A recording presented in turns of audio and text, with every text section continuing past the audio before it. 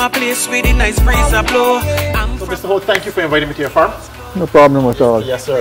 Um, tell me, I would like to know how did you get into goat farming? I know you as some person who writes articles, but how did you get into goat farming? How long? Well, actually, what happened, I was in dairying. I, I used to, I was working at Spring Hall with ADC. I used to buy milk from a man, and he said he was too old, so he sold me the cow, and I used to turn around and sell him the milk.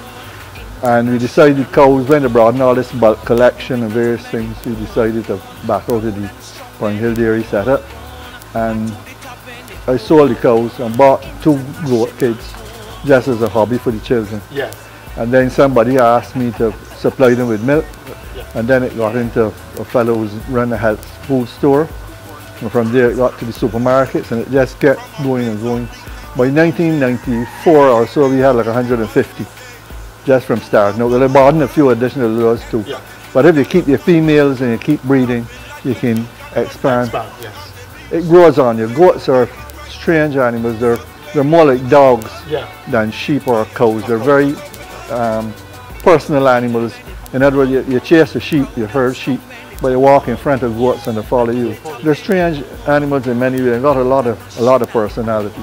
You mentioned just now um, purchasing, person purchasing milk and Right. what what is the market like for goat milk and, and you know It is a good it? it is a good niche market. You, you can't put it better than that at this stage. We um, there are a lot of mothers with babies who can't take formula, they can't take cow's milk, but they, they thrive on, on goat's milk. Yes.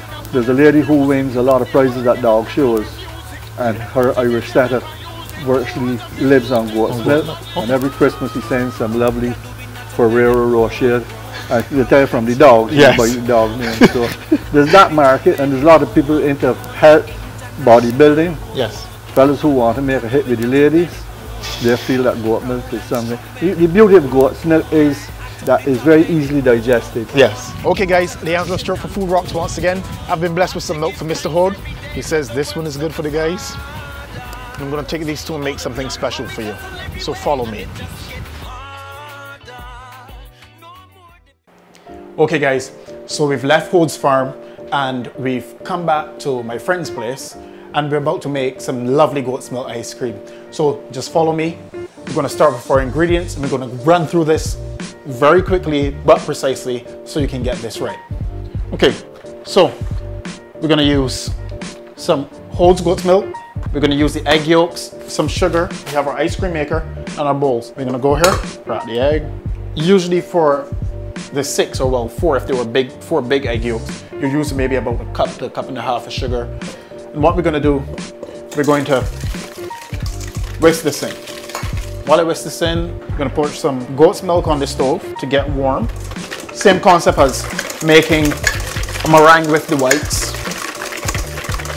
Now that my egg yolks and sugar mixed, slowly add the goat's milk to this. Because the goat's milk is such a, a light and flavorful type of milk, it has a delicate, you know, texture to it. You don't want to heat it past 74 to 75 degrees because you bring out too much of that, that rankness or the goaty flavor that people complain about a lot. So there we go.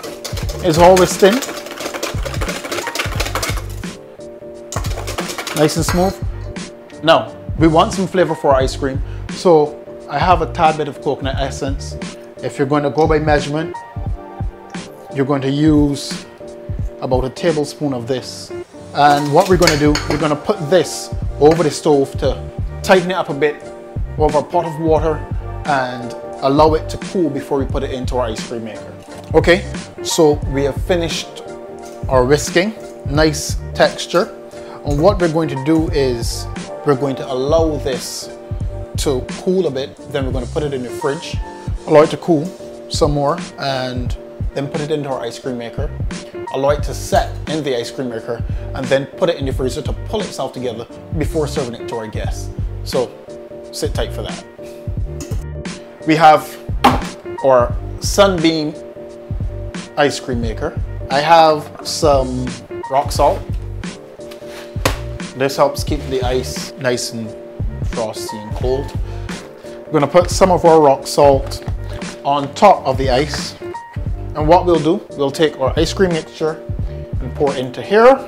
use our spatula to get all of our goat's milky goodness out. And we're going to set our blade in place. As this rotates, we're going to let it set, come back and check this in about 15 minutes or so, and then we'll serve. Okay, so our motor is off, and we're going to take our paddle out. Some lovely looking ice cream, and it's set beautifully. So our bowl. Beautiful ice cream. Sexy goat's milk ice cream. I mean, you couldn't want it any better than that.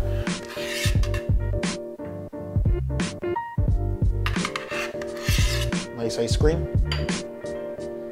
And we're gonna put some sprinkles on that just because they're big kids in us. And here you have it, your goat's milk ice cream. It's really lovely. Well, once again guys, this is Leandro Stewart for Food Rocks. Enjoy.